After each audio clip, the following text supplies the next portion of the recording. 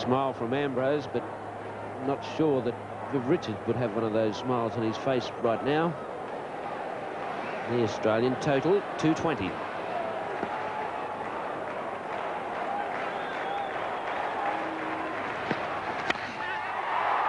And another one. And it's gone all the way for a six. What a magnificent way to finish a magnificent revival by Australia. A four over extra cover.